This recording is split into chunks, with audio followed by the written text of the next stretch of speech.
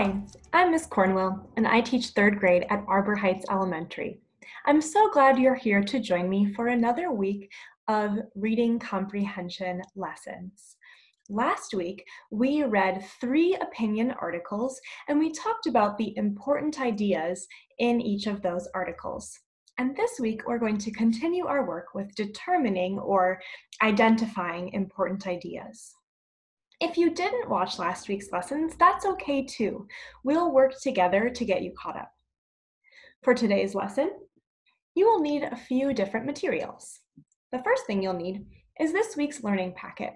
You may have gotten this sent to you by your teacher. You can also find it on the Seattle Public Schools website. If you don't have your learning packet, you might use your student response book if you happen to have that at home, or just a piece of scratch paper or a notebook, kind of like the one that I'm going to use today, would be just fine too. You'll also need a pen or pencil to write, and you'll need a turn and talk partner. If there's someone at home watching this video with you, that would be a great turn and talk partner. Could be a mom, a dad, a a grandparent, a sibling, a cousin, someone who's there at home with you. If you normally talk to this person in a language other than English, you're welcome to have your discussions in that language. If you don't have someone watching this video with you, you could turn and talk to a pet, a stuffed animal, or you can just think about the answers in your head. Take a few moments to gather those materials, and then we'll get started.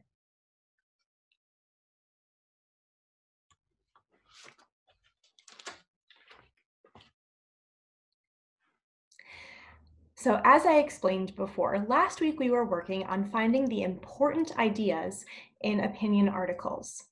Determining or identifying important ideas is a great way to help you understand and remember what you read. It's what we call a reading comprehension strategy. And you've learned lots of reading comprehension strategies already this year. As a quick reminder, we've practiced visualizing, making inferences about characters by using clues, wondering and questioning, and using text features, especially, especially in expository nonfiction. Now, let's add one more to our list of reading comprehension strategies. This one is determining or identifying important ideas. Good readers use these reading comprehension strategies as they read independently and so that's the goal for you to do as you do your IDR. Today, we'll continue to practice determining important ideas by reading this book, Lifetimes. It's written by David L. Rice and illustrated by Michael S. Maydak. It's published by Dawn Publications. This book is a nonfiction book that tells about the lifetimes of different plants, animals, and other organisms. A lifetime is how long a plant or animal or organism is expected to live. For example, the lifetime of a human is about 85 years. We'll read about a couple different animals today, and we'll start by reading about army ants. Now, before I read about a nonfiction topic, I like to get myself ready to read by thinking about what do I already think I know about this topic? So I'm going to ask myself that now. What do I think I know about ants? Well, I think I know that they live together in really big groups. I think they're called colonies. And I've seen them before walking in lines, and I think they do that to go find food to bring back to their colony. Let's see as we read now, I can pay attention to if I find out that I was right about those things and what else I'm learning about ants. Now, as I read this passage, this one we're just going to read one time. So there's two things to think about. The first thing is, what am I learning about army ants as I read? The second one is, what do I think the author most wants me to understand and remember about army ants? Or, what is an important idea in this passage?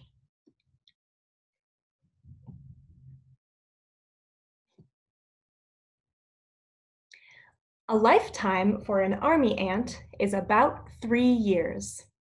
Army ants are famous for their ability to work together to accomplish amazing things. They march along like soldiers, sometimes a million at a time. Nothing can stop them. When they come to a river, they make an ant bridge of themselves to get across. If the river is very wide, they form large ant balls and float to the other side. Army ants eat mostly insects, spiders, and small animals, although they have been known to eat horses, cows, and even tigers that are tied up or caged. People who live in areas with army ants have to leave their homes for a day or two when the ants come marching through.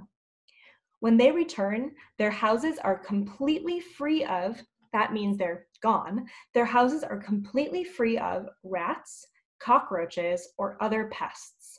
Cockroaches are brown or black insects that like to live in warm, dark places. They're an example of a pest, and a pest is a creature that bothers or destroys other animals or pets. All right, now that I've learned about army ants, I want to think about that first thing. What did I learn? Well, I learned a lot of things actually in this small amount of information.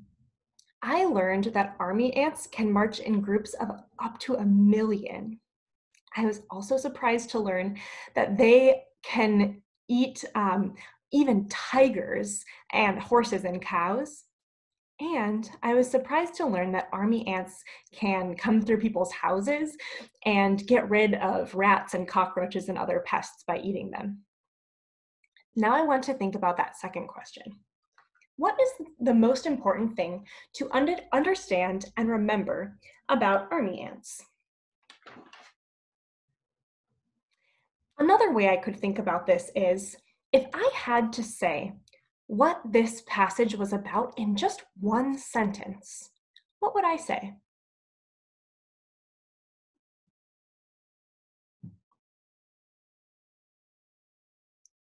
And I'm going to remind you, if you joined me for the lessons last week, you already know this sentence, but if you're new to our lessons this week, we're going to work on explaining our, the reasons behind our ideas by using this sentence stem. The reason I think this is.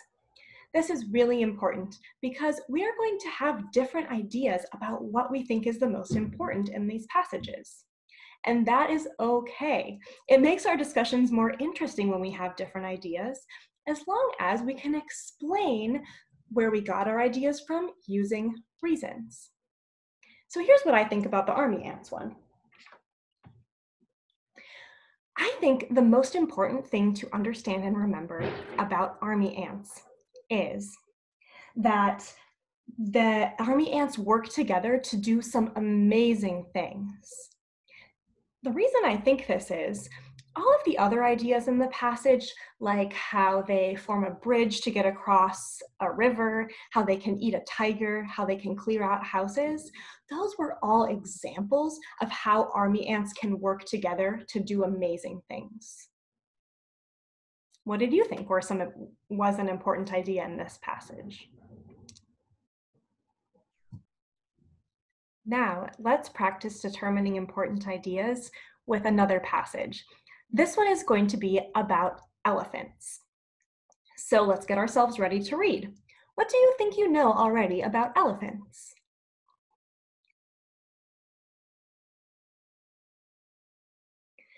When I have asked this question to my students, they've told me, I know that elephants have long trunks that they use to squirt water. I also know that they, I think I know that they live in families, and I've seen them do tricks at the circus before. We'll read the passage about elephants twice. The first time, we're going to think about what we're learning about elephants, and then the second time, we'll go back and we'll think about what is the most important thing to understand and remember. So we'll start by hearing the lifetime.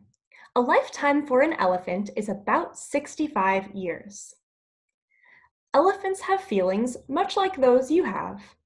They make loud, joyful trumpeting sounds when they meet other elephants. They care for other elephants that are sick or injured.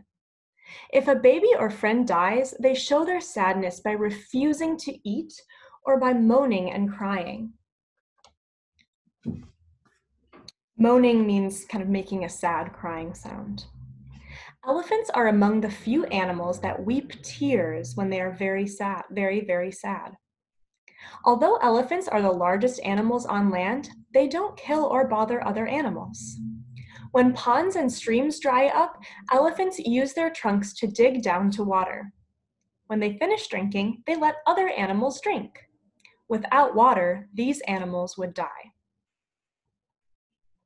All right, that was our first time. So, what interesting things have you learned about elephants?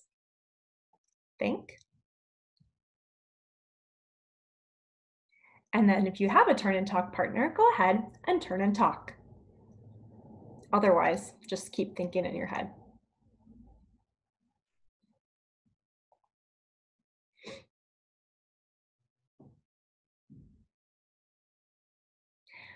One thing that I learned that was the most surprising to me is that elephants weep, weep means cry. They actually cry tears when they're very sad. Now we're going to read this passage again, and this time, think about what do you think is most important to understand and remember about this passage? Or if you had to say what it's about in just one sentence, what would you say? Mm-hmm. A lifetime for an elephant is about 65 years. Elephants have feelings much like those you have. They make loud, joyful trumpeting sounds when they meet other elephants. They care for other elephants that are sick or injured. Injured means um, hurt, sick or injured. If a baby or friend dies, they show their sadness by refusing to eat or by moaning and crying. Elephants are among the few animals that weep tears when they are very, very sad. Although elephants are the largest animals on land, they don't kill or bother other animals. When ponds and streams dry up, elephants use their trunks to dig down to water. When they finish drinking, they let other animals drink. Without water, these animals would die. What do you think is most important to understand and remember in this passage? Don't forget to use our sentence stem. The reason I think this is. turn and talk.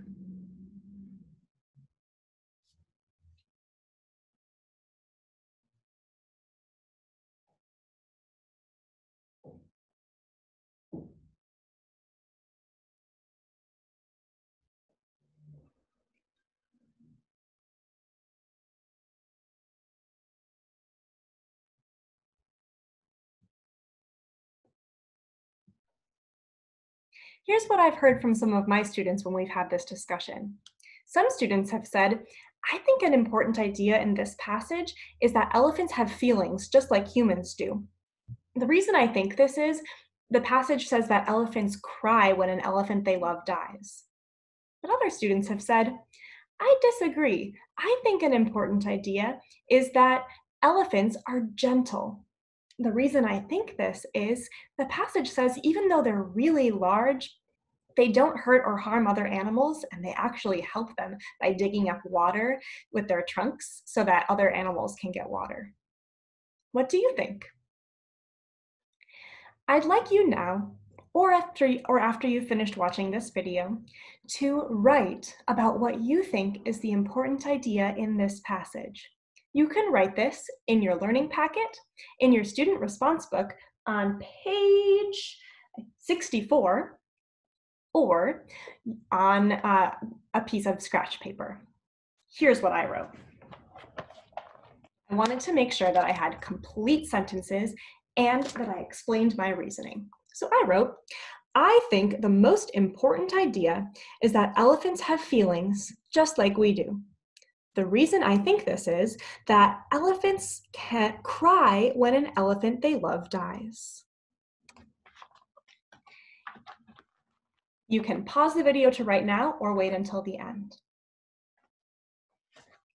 Today, we practiced determining important ideas by reading about lifetimes of army ants and elephants and thinking to ourselves, what is the most important thing to understand and remember about these animals?